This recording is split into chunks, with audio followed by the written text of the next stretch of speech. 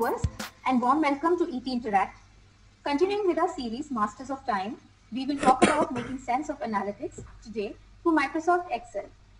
Everyone deals with data. We spend a lot of time in cleaning it and creating reports and MIS. In this session, Dr. Nitin Paranjape will help us understand the ideal data format, smart ways to clean up, and new methods of analyzing data. We will learn how to go beyond standard reporting and gain actionable information from data that you already have. Dr. Nitin will also cover new methods of interactively visualizing data, including converting locational data into maps. And finally, we will learn efficient methods of sharing the insights with others. We present to you our webinar, Data Rich but Information Poor. During the course of this webinar, you can write your questions to the webinar console and they will be taken up at the end of this webinar. Over to you, Dr. Nitin. Uh, thanks, Mansi. Uh, welcome everyone for this webinar. During the course of this session, we are going to see a lot of stuff. So I'm going to speak very fast. But to make sure you don't miss out on anything, this is getting recorded and you will see the video very soon. Uh, few things to remember. I'm sure all of you see the screen there is a drop down on top of the screen which shows you zoom level. Drop it down and choose full screen. That way you will see maximum resolution and you will understand most of the demos better because you can see it in larger screen size and font size. Most of my demo is not a presentation. I'm going to actually show you live stuff. Now the video is getting recorded and uh, the video will be available to you on this link at the end of the session after a few minutes or half an hour after the session. Now you may be wondering, I am recording the video right now and how can I publish the link for the download of the video? Don't worry, I'll explain that. I have written a blog on how to do this. So let's go ahead. I'm going to switch off the webcam because that takes up a lot of bandwidth. So now let's come back to the core basics. What, what is the real purpose of what we call as analysis? When we get some data, it's an input we do some processing on top of it and then we produce some output. Everyone knows that. Exactly how to do it that depends on data and the processing requirements. But one thing is generally almost sure. Whatever data you have got is typically historical data. That means it has already happened. You cannot change anything there. So why are we spending so much time? Because it's not that we can change anything in the past but if you learn from the past, we can utilize that knowledge to act in a better way in order to improve the future. That is the whole purpose of analytics. So learning from the past to improve the future is analytics. Agreed. Now, that brings us to a very important concept which many of us have forgotten in recent times. When we say I want to learn from the past, what I really mean is I want to learn every possible useful thing from the past, not just the standard reports which someone is asking from me. We'll come back to it a little later, just ruminate on that. Most of us spend a lot of time in creating reports and MIS and we think that is analytics. That's not. That's just a subset of analytics. We will see as we explore more and more ideas what really it means and how the scope can be expanded obviously to your advantage. So the process is fairly simple, but it can get messy and all of you have experienced that. So we get data from somewhere. It could be a database, it could be a simple text file or CSV file you have uploaded. Invariably, we are in a hurry to convert that to a report or something which we can interpret. But typically what happens is that information is not necessarily in the format you would like it to be and then we end up spending a lot of time and energy in cleaning it up. But generally, this is the process. So raw data is large. We want to summarize it because just by scrolling it, you're not going to understand anything. We make it smaller, summarize it, and then we try to interpret it. Of course, based on the interpretation, we will share our thoughts with others and people, including yourself, will act on that information to improve the future. Now let's classify data into two very simple types. This is not an IT definition, this is a user definition. So actually what I really want to do is um, uh, make sure that I clarify the focus of today's session. This is more end user oriented session. Some of you may be from IT, but still the focus of today is on end user and what as a user you can do. So even if you're from IT, there are times when you get raw data and you still work on it. So I'm sure it will be useful to all of you. Now, I'm at this stage going to just do a quick poll to understand what kind of products we are using. So just give me a picture of what we can. All right. Very nice. I'm going to give few seconds for people to respond. By the way, it's uh, I think a record turnout. We have around 600 plus people in the audience, which is great. Thank you for your time. All right, it looks nice. It's around 45% 2010 and 40% 2013. I'm sure Microsoft will be very happy. All right, it's stabilizing. Give me a few more seconds. Now the issue is most of the things which I'm going to show you today are based on the new version. But that doesn't mean I'm not I'm going to just leave out the old version. Around 30% of what I show will work on any version of Office or Excel and new things will obviously work on 2013. Now in most cases the newer features work in the professional edition of Excel. Remember that. All right, so I'm going to go back from the poll and show my screen back. So now let's look at the data. If the data forces you to clean it up, which is a waste of time, inefficiency, before you can analyze it, we call it bad data.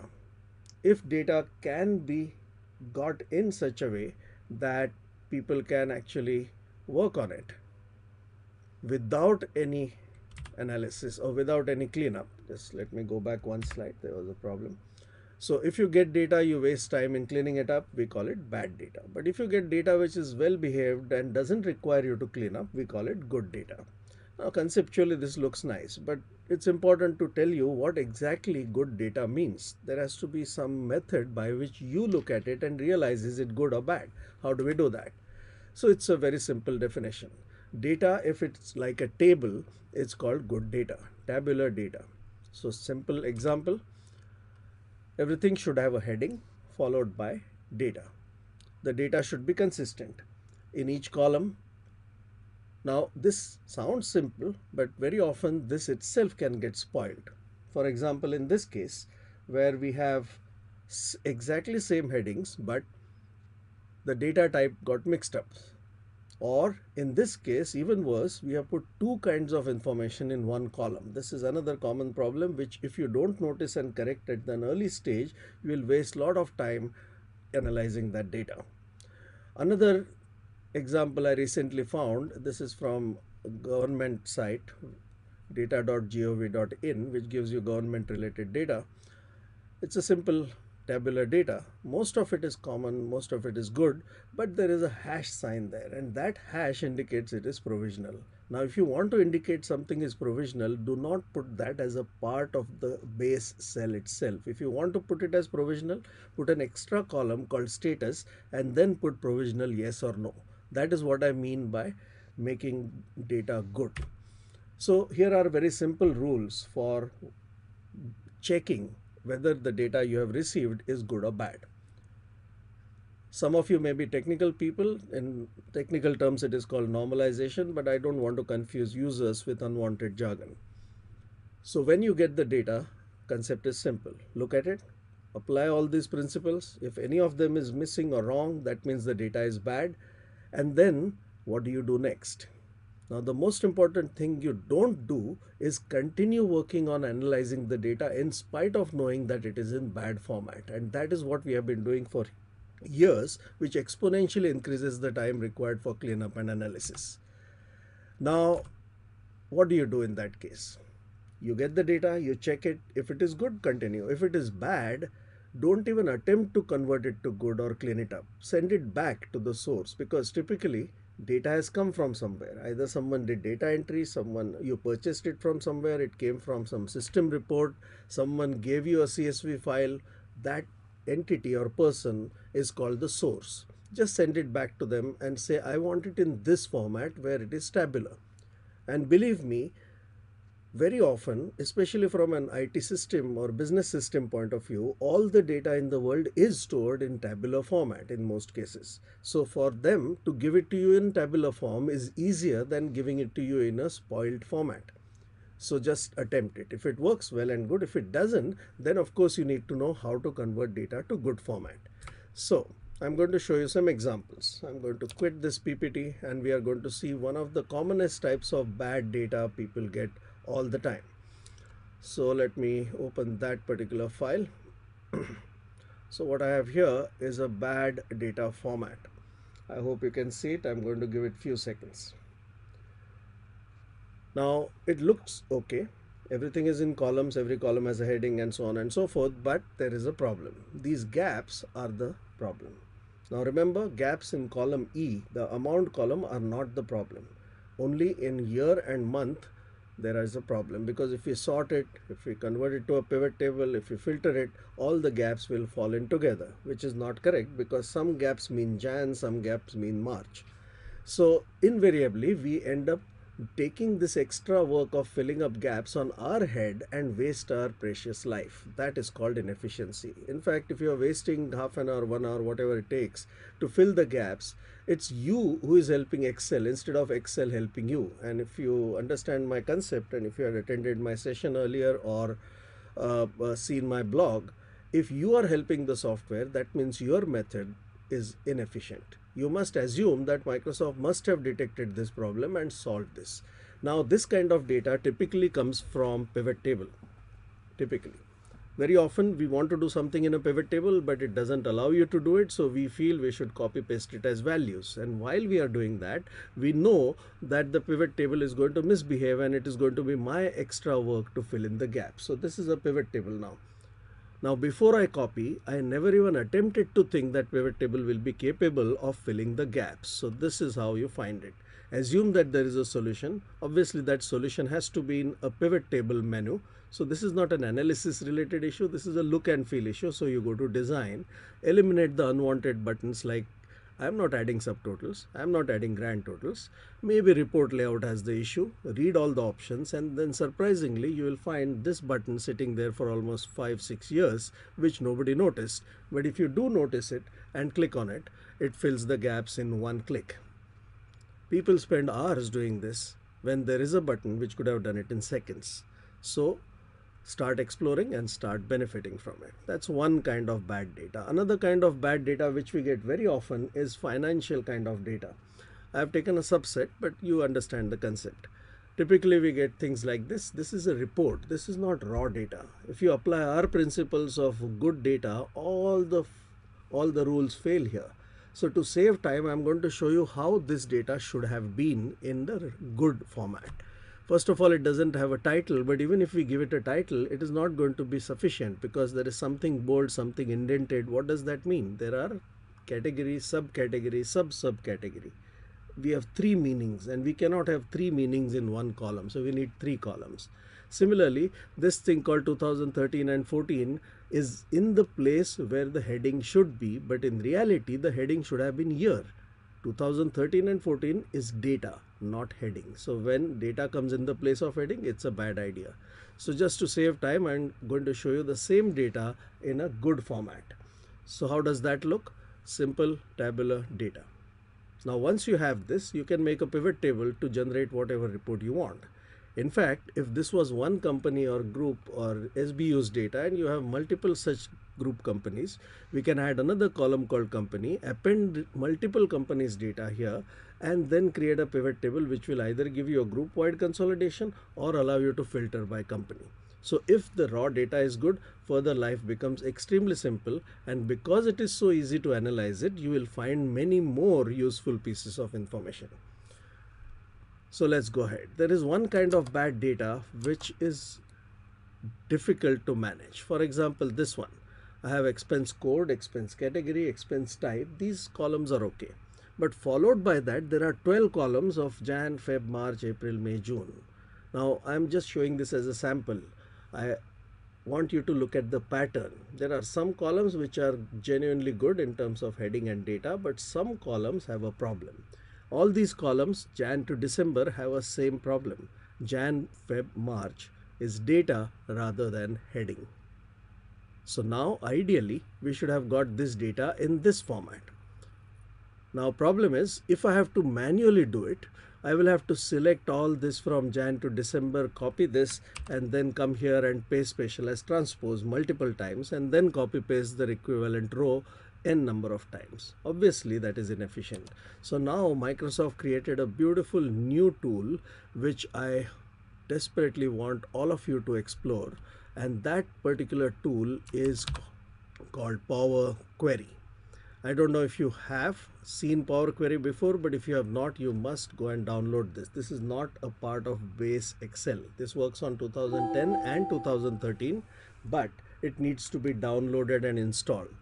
If you are from IT, please install it on, on your desktops. If you are from a user side, please ask IT to install it for you. So let me show you how a new tool called Power Query can help you here. Once you install it, it's a free download you get a menu here on top. Now in this menu, Power Query is very flexible and extremely capable of getting data from all kinds of sources, even those you have not imagined. So just a quick view of what it can get data from. It can get it from a browser. I'll show you a demo of that. It can get it from all kinds of files or all kinds of databases you can think of or even from Microsoft Azure or Hadoop blob storage, stuff like that and some not so standard sources like a SharePoint list, for example. It will also be able to do social analytics with Facebook. If you use SAP with business objects as the BI tool, no problem, it can connect to BI Universe or Salesforce objects and reports as well. But maybe you have some weird database which is not latest. The least common denominator of connectivity is ODBC. Every database in the world has an ODBC driver. So all kinds of data you can connect to using Power Query. Now you will ask me, we could connect to data sources using earlier version of Excel also. What is the big deal? The big deal is here it doesn't just connect, it gives you additional capabilities of cleaning up the data, removing unwanted things, shaping the data in the way you want in a much, much faster way than we have ever imagined before. So now with that in mind, let's go to Power Query. What we really want is the first three columns should remain as they are, but the column D onwards, 12 columns Jan to December, as a bulk operation should be rotated into just two columns, month and amount. Now that is what Power Query is good at. So I'm going to ask Power Query to pick up data from here because it's an Excel sheet. It will convert it to a table to start with and then it will show you the same data here. So what am I looking at right now? Nothing has changed, the same data. So I go here and select what is happening here, Jan to December. And I just right click here and say unpivot columns. That's all. And that then what happens? In one click, it does the job. It's that simple. Now, of course, this data was small, but even if this data was large, the performance is phenomenal.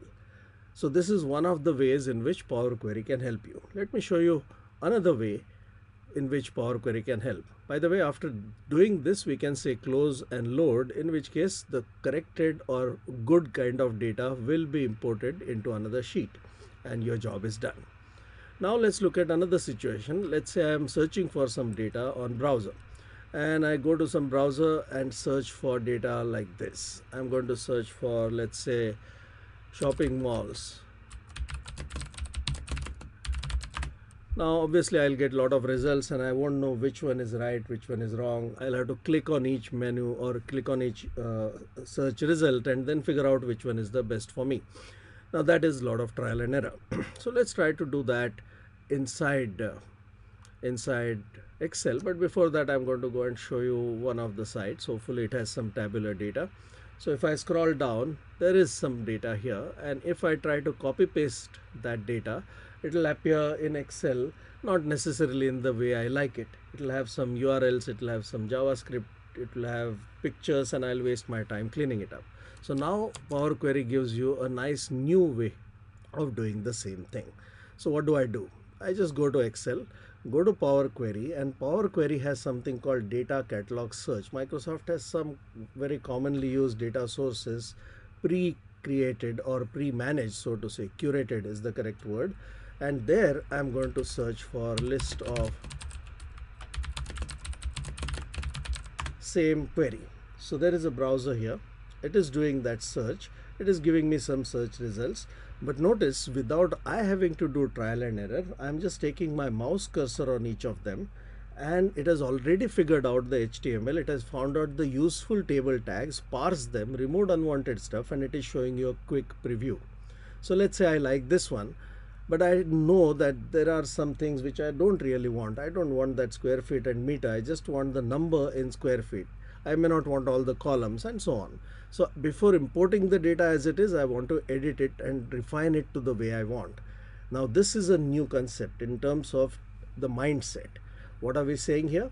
We are saying till now we used to import data as it arrives. In whatever format it arrives we first import it and then think about cleaning now the method of thinking itself has changed. You first import a small preview of it and then do all the changes to it and then ask power query to import it.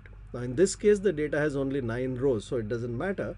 But if this page had 20,000 rows Power Query would show you only 100 or the first few as a sample accept all the inputs from you as to what changes you want to do which columns you want what data types you want all the transformations you want. And then finally when you say import it is going to apply those steps to the real data and import it in the correct format. That saves you a lot of trouble. So now in this case let's say I don't want a particular column. I right click on it and say remove. Now in this case I have a problem because I only want the number and I don't want the square meters at all. So now notice how beautifully this is done. There is an option called split column and by a delimiter.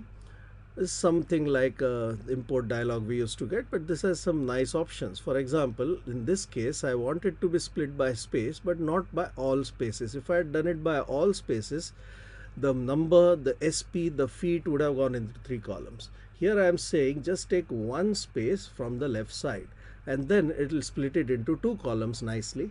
One which I want and because now it is split into a number it has automatically right aligned it that means it's a numeric column and the second one I don't want so I will just remove it. Now I will do that otherwise I can also select the columns I need and say remove other columns. Also notice that like we used to record a macro, this is getting recorded.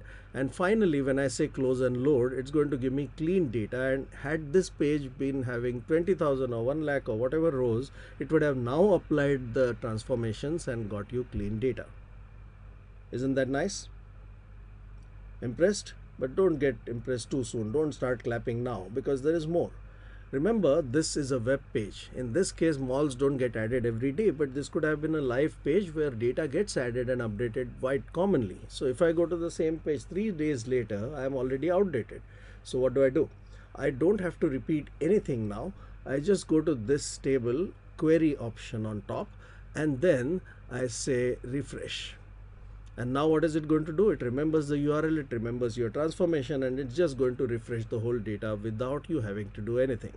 But even more importantly if you realize that this data and the effort you have put to clean it up is so nice many other people from your team department or organization can benefit from it then you can share it or send to the bi catalog in which case other people can also use the data source without having to lift their finger.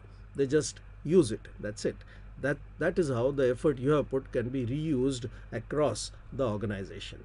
I don't have too much time to show you everything about power query but you can go to my blog and there are lots of articles there and i'll also give you some more references about power query a little later.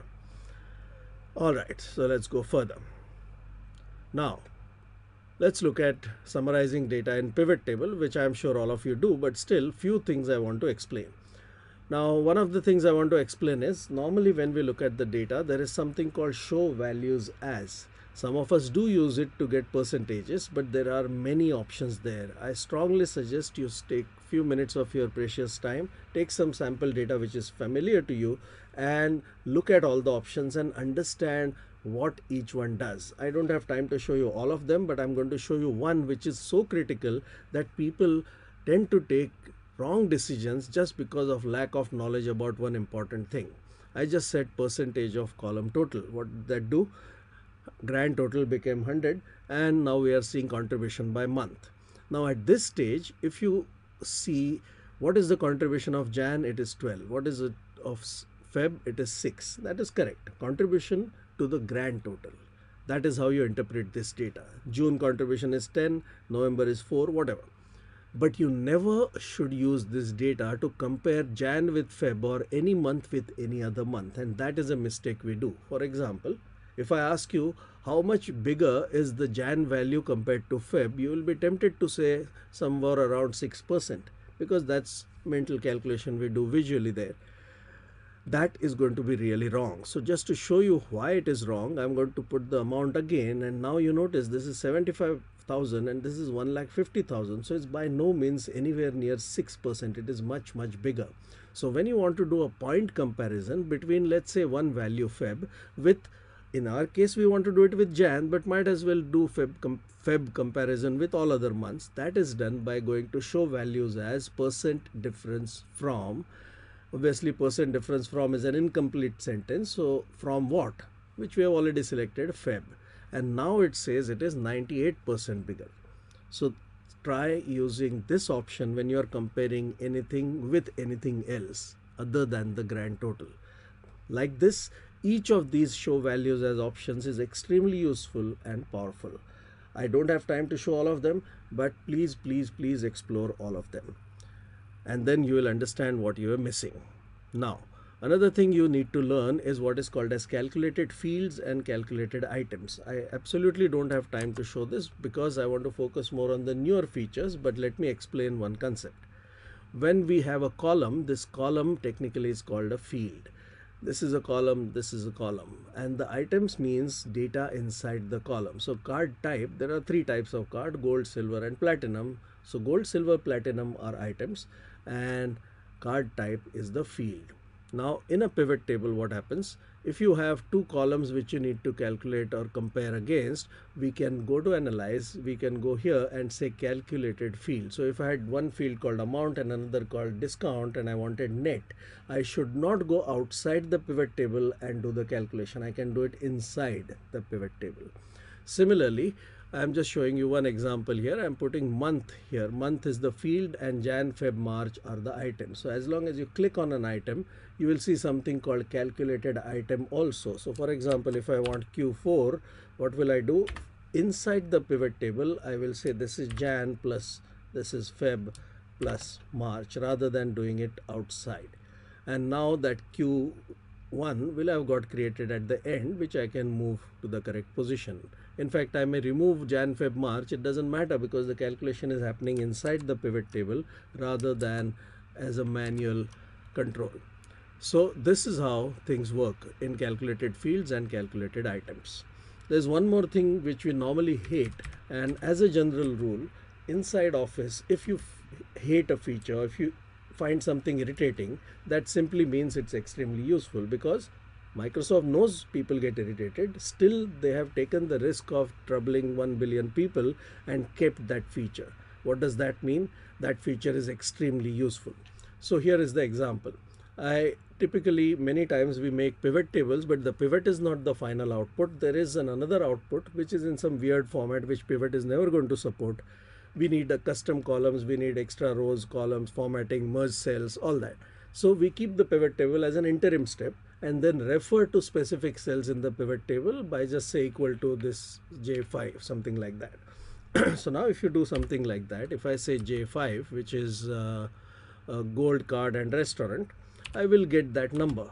But if you try to take your cursor there, typically what happens is I get this weird looking get pivot data statement which many people get irritated about and the Problem is, when we get irritated with something, we never attempt to find out why it has appeared. You had a chance to explore it by pressing enter and see what happens, but it's so much easier to press escape and go home. So don't escape from things, explore. So how do you explore in this case? Just press enter. Now you will think what is the big deal? This is the same number. But just to visually highlight it, I'm just going to put some green color there. And now let's see how these numbers behave. Now I'm going to put transaction type from column area to row area. And now see what happened? The reference which was directly given is confused and it has no clue what's happening whereas this one always gives you the correct picture. So please go to my blog, search for get pivot data. There are two or three articles on it and a macro also which I've created. That's the best thing which happens to humanity but humanity doesn't know about it. Please learn it and start using it. Don't use hard-coded references to cells in data area. Ah, so much. Now having seen so many different options, the question which comes to our mind is you have so many show values as which one to use when? And the typical answer would be it depends on the data and obviously typical answers are wrong. Please understand that each of those options and each of the analytical options we are going to see after this as well have very different outcomes they give you additional information. The information is not equivalent it is additional. And our purpose is to learn all the information. That's why you should try all methods with all kind of data and then gain maximum out of it. This is the concept of analytics.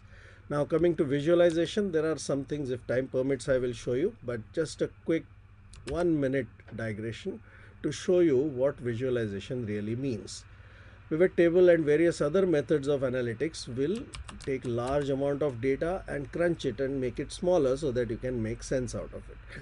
Having done that now we have got crunch data. Now how do i interpret it? I will have to read the numbers or i will have to create a chart which itself may be confusing. So there are options for simplifying the interpretation of the data. For example i select the data and then I go to conditional formatting in home tab and put a bar chart within the cell.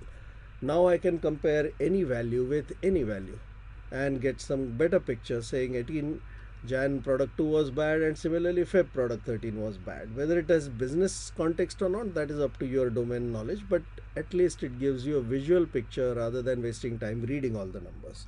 Now with the same data I can look at it in a completely different way by classifying it into small, medium and large. This takes the range and divides it into 33%, 67 and 100. That's by default. You can of course change the numbers. But this data has remained the same, but it has given you additional bucket kind of information, which is nice all right. Another kind of information which we get is color scale which basically makes sense when you have larger amount of data but it takes shades of color. Minimum gets one value maximum gets one color and intermediate cells get a combination of those colors. So all these methods are available. Now again step one learn everything that is there in conditional formatting and step two when you get data apply all kinds of conditional formatting so that you can actually know all the useful stuff. In fact to make it easier in 2013 just to select data there small icon comes which is called quick analysis. What is quick about it? When you click on it what I just did I added formatting undid it added another one that's no longer required. You just take your mouse cursor there and keep moving it and different kinds of visualizations are automatically applied. Previous one is automatically removed. And this also gives you some beautiful charts. Now these are the charts based on the data you have selected. Excel thought which charts are most suitable to depict this data and it has recommended these charts for you. Similarly if the data was tabular we could have done pivot tables also. Another nice feature it has is spark lines because if the data is multi-scale that means there are very large numbers medium numbers not so large numbers very small numbers. Then a normal chart doesn't work. But if I use the same data with Sparkline, notice what happens. Sparkline basically means drawing a chart with each row. And that gives us interpretation in terms of fluctuation across time without the smaller row interfering with the larger scale. So all these methods are available in quick analysis. Have a look at them. For every piece of data. All right let's go further. So now let's look at some new methods of analyzing data. What is the new method? P pivot table always has had a problem many problems actually. It forces you to use one block of data as the input and many times transactional data has product IDs, customer IDs, location ID and we don't want to show IDs, we want to show description. Now the ID to description map is in a separate table either in Excel or somewhere else so which forces us to do VLOOKUP VLOOKUP increases the file size. If the data is large, obviously file size is large, and then everything becomes so slow that we spend 15 20 minutes every day just looking at the file opening, closing, or refreshing when you drag draw from a pivot table. And all this is limited to 1 million rows, unfortunately. So, what is the row way out? That solution is called Power Pivot. This is available on 2010 as well as an add-in and 2013 onwards it is built in. It adds a new menu or a tab actually inside the ribbon and it allows you to do a lot of stuff. What does it do? First of all, it says do not import data into Excel. Power Pivot is like having a database. I'm sure many of us have done that before. What have we done before? because the data was too excruciatingly slow to manage in Excel, we put it in Access, SQL Server, Oracle somewhere and then connected pivot table to it. That is working, but this is an additional dependency. So now Microsoft said, why not put a data base itself inside Excel? And that is called Power Pivot. So it has no row limit depending on of course if you are handling 100 million rows obviously you better give it a good machine. But by and large the same data which you are struggling with in excel if you import it into data model or power pivot database then it will work beautifully on the same hardware. It also eliminates the need for vlookup because you can now create relationships between two tables now I don't have time to show you all the aspects of Power Pivot, but let me show you one example which will cover most of the things which I just mentioned. So let's open a file. This particular file is a large file and it has 43 MB of data. Now this data is large. Let me figure out the file is 43 MB. There are some pivot tables, there are some filters, there are some charts, all that. But the data itself is not inside an Excel sheet. It is inside Power Pivot. So we go to Power Pivot and click on this button called Manage. I'm just going to pause for a second because some people are complaining that there is refresh problem. Just give me a few seconds. All right, problem solved. So now if I go to this thing called data model, let us see what it has inside it. So I'm going to go to Power Pivot and go to data model. Data model is the built-in database. So this data model is capable of handling very large amount of data, handle it very nicely, keep it small in size in fact from a technical point of view if some of you are technical people out there it actually creates what is called as an in-memory cube. So internally it is creating sort of a cube but without troubling the end user with all the complexity involved in creating a cube. This all happens on the fly so you don't have to worry. So what does this do? Actually many times our data comes from multiple sources I may get the transactional data either from a database connection or a CSV file or I may and the master data I may already have which contains just a master list of products and locations and so on. So this particular thing called data model is capable of taking large amount of data and combining multiple pieces of data together. How is that done? Let's see. So as I said, let's try and go and look at the data model. So data model opens in a separate window. Now you can see at the bottom there are multiple tabs and each tab is sort of a table. Technically speaking, that table could have come from different places. So one could have come from a business objects, one could have come from SQL Server, a data warehouse, another could have come from a CSV file, another could have come from uh, Excel sheet. So now what do we do? I have this file or this table or this data called sales which is the biggest. Look at the scale first. Look at the bottom. How many rows are we talking about? Around 3.9 million or around 4 lakh rows. Now the file size is only 43 MB so compression is good. But now because there are multiple tables look at this particular column. This is called channel ID and channel ID I don't want to show. There is a master which says channel ID 1 means what, channel ID 2 means what. So what do I do? I go to the transactional table, right click here and say create relationship. And then it says sales table has a column called channel id and that is equivalent to the master table of channels and that equivalent column is channel key. And once that is done we can actually create a pivot table. We can actually see all this as a diagram view and even manage relationships in the diagram view to make it even simpler now let's see how the performance is. Just to show you the performance i have created an empty pivot table. As we know we have the data shown in this particular pivot table, uh, table which is called sales. So I'm going to show this data. And uh, in this database we will try to create a new table and see or what is the performance. So this is an existing pivot table now if I go and try to do something this sales table here is the biggest one with 4 million rows. Right now it is showing total sales. Now I'm going to put total cost here which requires it to process 4 million rows n number of times for each channel for each year and so on and so forth. So let's see what is the performance. So I'm just doing a simple drag drop. Notice it has already finished it. 4 to 5 seconds of course, it depends on the machine configuration. My machine is a little better one, but even if yours is a worse one, instead of 3 seconds, it will take 60 seconds, which is not too much of a problem. So pivot table solves all the problems which typical, normal, traditional pivot table had. Power Pivot has solved all of them. And the best part is when you save all this, you're not managing two files. You're just managing an XLSX file only.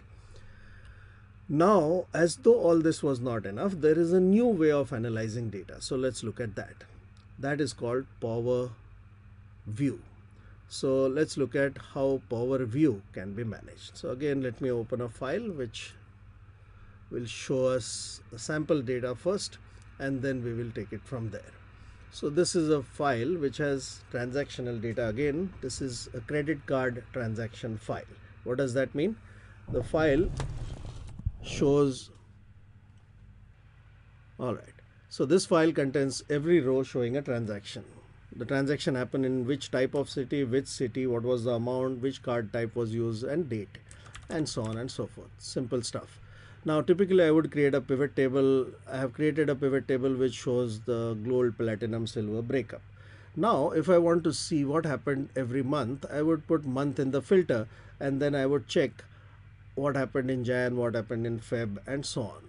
Now the problem here is I just filtered it on Jan, but now I have forgotten how the entire year looked because the whole circle which was occupied for the entire year is the same size as that for Jan. Actually Jan should be smaller, but that doesn't happen here. That's problem number one. Second problem is even if I had that, even if I wanted to see Jan versus Feb or Jan versus something else, I have to remember the previous picture, which is impossible to do 12 times. So if I really want to see seasonal variation, one option is I try to remember 12 images in my mind, which is difficult, or create 12 pivot tables by copy pasting manually and then have a look by creating 12 pivot charts and wasting time arranging them. So for these reasons, we have a new thing called Power View. How do you get it? You go to Insert and click on Power View. This is specific to Office 2013 professional version or the Office 365 version. I've already added it. Basically, it's designed for dashboard. So it adds an empty page and it shows you the same data here. So right now I've just dragged and dropped the same thing here, city, uh, uh, the card type and amount. Now unlike pivot table, this itself can be converted to a chart. So I'm going to go here, go to design and say I don't like it as a table. I convert to pie chart. So it is done. Now let's look at month because we want to see monthly analysis. So I drag and drop month and amount and I convert this to a bar chart. So let's do a bar chart and it's a stacked bar. I can rearrange this as I want it. And now forget about the fact that it is not organized in the correct order. That is a specific thing. I will uh, read my blog about month ordering. You will know exactly how to do it. But let's not focus on that now. Now let's focus on what we did earlier in the pivot table. If I click on Jan, notice what happens here. The size of contribution of Jan obviously has to be smaller than the overall yearly picture. So the yearly picture is still preserved, but it is a little dimmer visually so that you know. And the contribution of Jan is in darker color. So we can actually see the overall picture as well as within the Jan month what is happening. Now if I go to another month, let's say Feb, notice things changed. I don't know if you can appreciate the animation on your screen, but it is not changing suddenly. Coming back to pivot table, if I change from one month to another, I'm going from Jan, notice what happens there, and then I go to Feb, it changes. Of course it shows correctly but it is instant change. So if there are multiple pieces of the pie it is very difficult to remember it increased in silver or it decreased in platinum now it is actually enhancing that movement from the previous state to the current state highlighting and simplifying the interpretation visually so animation in this case is not just for jazz or style it is actually improving interpretation now with lesser amount of effort, we are going to be able to manage better interpretation. That's one part. Similarly, if I click on a card, let's say platinum, now it is going to do a reverse filter and show me what happened on every month. So this works both ways, which is beautiful. Now, one more thing, if I really want to see seasonal variation, this is not very useful because each month shows me only that particular month's picture. So let's see how that problem is solved. So I'm going to keep only this pie chart right now and make it big so that we can see what's happening here. And I do want to use the month somewhere. But if I use the month traditionally, it's going to show me one at a time. But I want 12 months. That's why 12 pie charts. That's like multiplying the pie chart by 12. That's why I drag month and put it into vert vertical multiple and suddenly I get 12 pie charts and now I can actually visually understand how my business changed or how transactions happened and look at the seasonal variation. This is good but there is one more nice refinement on top of it.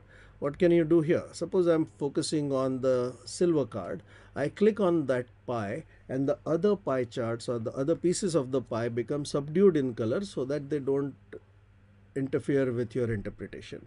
So whatever is your area of interest, click on it, that becomes darker, other becomes simpler.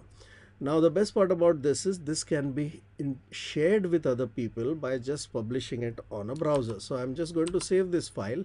Now this file is not getting saved locally. Normally we save reports locally and then share it with people, but that's not a good idea. Ideally we should store it on SharePoint or OneDrive. I hope you know what is OneDrive. OneDrive is one terabyte of space which you get when you subscribe to Office 365. It can store all kinds of files, of course, but in this case, we are looking at this file which is just saved. This is a browser version of it. Now, if someone looks at this on browser, let us see what happens. It's going to open it not in Excel by default. It is going to open it as a browser page. And on the browser page, it is going to show us what we saw in Excel exactly the same thing and the interactivity is still maintained. Now this requires something called Silverlight which all browsers don't support so there is an HTML5 version also which works exactly the same way. So if you have put this file on OneDrive and shared it with, with people, those people need not have Microsoft browser. They can view it on an Android tablet or an iPad or any browser on even mobile phones. So that is the beauty of it. You no longer struggle to find how to share large reports with people. There is one problem though. This is on browser. I do want to show this report to people, but I don't want them to see the pivot table or the data because raw data may have some columns which are confidential. How do I manage that? And that is the beauty of Excel. I come back to my Excel file and there is a very powerful option here which is commonly not noticed, which is called browser view options. This allows you to decide what you are showing to people and what you are hiding from them. So I choose the sheets which I want to show. In which case, now I have decided only Power View will be shown to people, not the data. That is how you can control what happens. How do you send the report to people? You go to File. You don't have to go to OneDrive. I just showed you OneDrive because many, many of you may not have seen how it looks. But you can stay in Excel, say share, invite people put their name and then you can even decide whether they can view it or edit it and in this case I'll say view and then just say share. That's it. So the traditional method of disseminating reports is also gone. Now while we are here using the same data I want to show you another and the last demo which actually shows you how maps can be drawn more effectively. Now in this case also we could have drawn a map but there is a much better way. So let's open the same file and see what happens. so this is the India banking file. We just saved it. I'm just reopening it. Now in this case this is the power view sheet which is fine. We had only that pie chart right now so I'm going to add something to that pie chart. I will remove this month right now make it a single pie chart. And along with that I want to put city. And along with city I want to put amount. Now remember whenever we are doing planning whether it's for logistics for sales for marketing for procurement for recruitment most of it happens in a geographical manner but when you look at the data the data analysis or monitoring happens either in alphabetical order or it happens in descending or ascending order of the amount so in this case I am doing it in descending order of amount now there is a dichotomy or there is a disconnect there because planning happens geographically and monitoring happens in numeric order.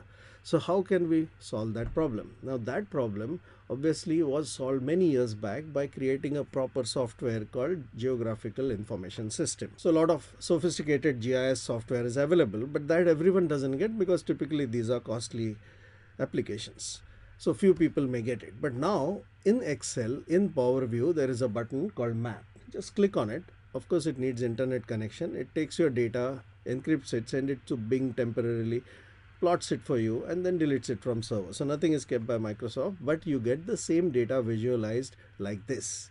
And remember everything we see in power view it implicitly is a filter. So i'm just going to put one more thing here. I'm going to put transaction type and amount just to make it a little more complex. And we'll make it into a bar chart. So we have three things being shown here. Very nice now if I want to see what happened in restaurants and how are people across India using my credit card for restaurant use I click here and it actually shows me the picture on the other hand if I see what's happening in the metros and I say Bombay uh, I'm just randomly selecting cities right now and it is actually showing me that as well as a filtered part of things. So in the currently selected cities, nobody is using my card for travel and hospital. So remember, in Power View, even the missing information is visually shown and that's very important. Very often we forget that analysis doesn't just mean understanding what is done or what is there what is not there is equally important and notice that there are some things dim that means this data doesn't apply there and that is how this can help you interpret the same data in a more meaningful way and get more information. But while we are doing this, let me show you another way of drawing this map. That's called Power Map. You have to install this also like we did for Power Query. It's a free add-in from Microsoft. Install it there. And then you install the map here. Once you install the Power Map, you will get a button right next to this. Now Power Map is a dedicated 3D mapping software. So it picks up your city because the name city was familiar otherwise you would have to identify it but this guy is much smarter in terms of plotting things. I'm just going to enable the map labels and zoom in.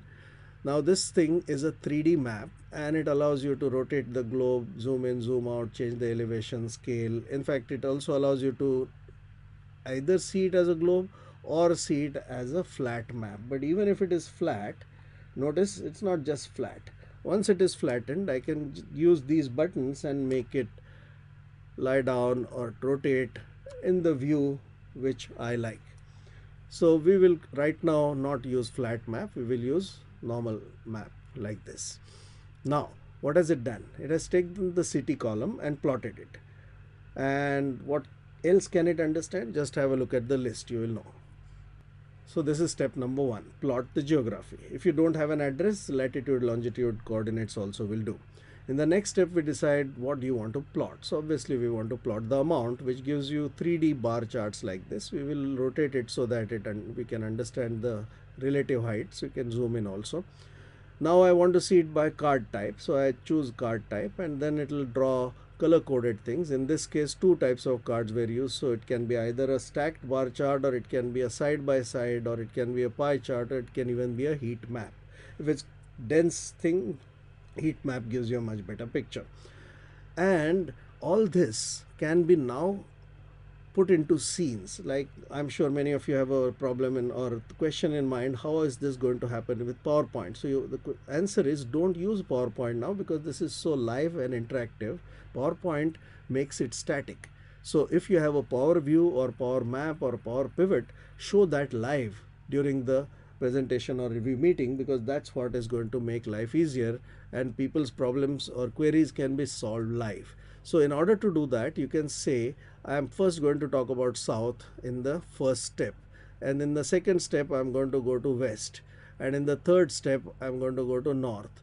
And like this, you can sort of create slides, animate them, and then if you want to share it with someone who doesn't have PowerPoint, you can even create a video.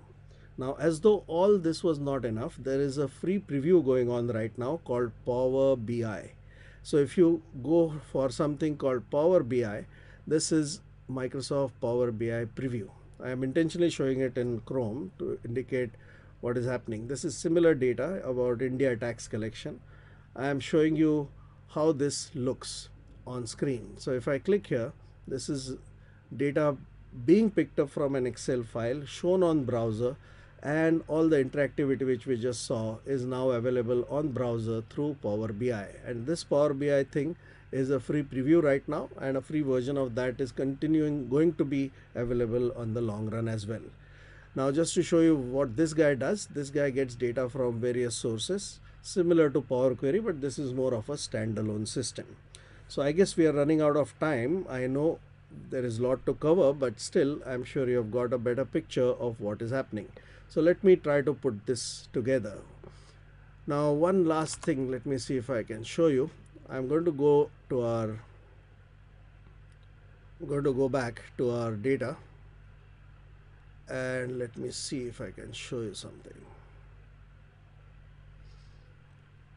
So this was our banking demo which I showed you, right?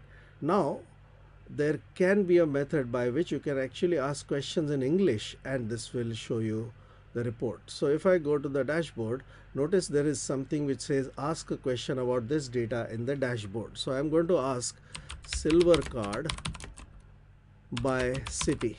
So notice what it is showing me.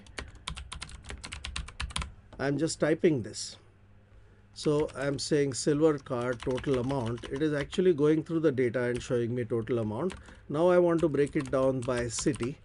So it is doing that and I want to show it as a chart. So now chart, no, I don't want chart. I want it as a map. So if it understands the syntax, let me try it again. Total amount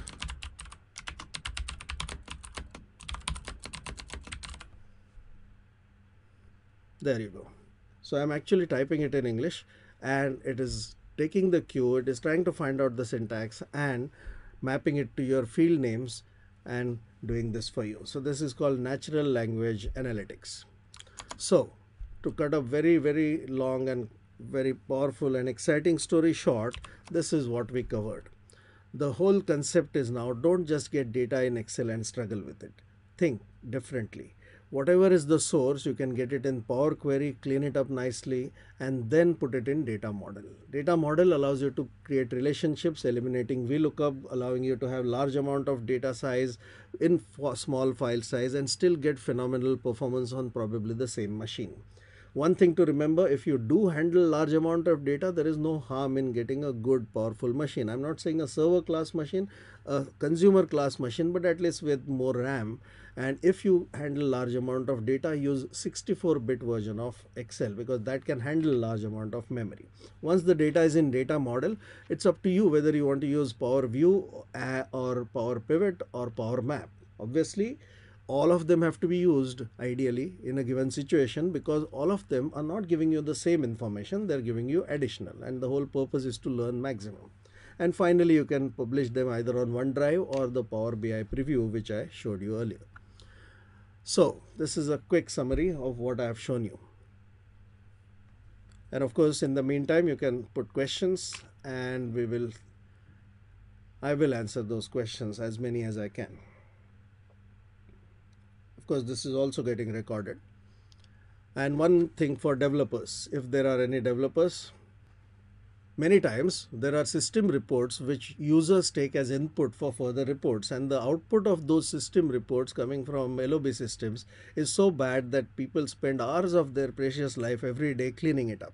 So this is what you should do as a developer. Your data is in normalized format. When you want to generate a report, you run a query, you get a denormalized record set that you put it in report writer and then generate the report and then say print that report. That part is correct. But do not put that printout into Excel when people choose export to Excel. If they do choose export to Excel, give them that denormalized record set. That's it. Even if that is done for every system report, people will spend millions of uh, ways, uh, people will save millions of man days globally every day. So, as a developer, if you have control over this, please try it. So, that's all. What am I saying next? Obviously, you have to understand all these components, try it out, do a parallel run, learn all of them, and then utilize them to your advantage. Now what I'm really trying to tell you is this session is not about producing your existing MIS or reports faster. That will happen anyway and you'll have so much extra time. What are you going to do with that? You're going to continue to analyze that further and further and then utilize that to your advantage. So along with your standard report, you're giving additional inputs which at that point of time nobody in the organization including your boss knows and that is how you're going to grow. So analytics is not just a fashionable thing to do irrespective of the version of Excel you have if you apply your mind and talent properly and use the features rightly it will actually help you grow faster in whatever field you are in. If you don't have the latest version, you can still try it out as Office 365 trial.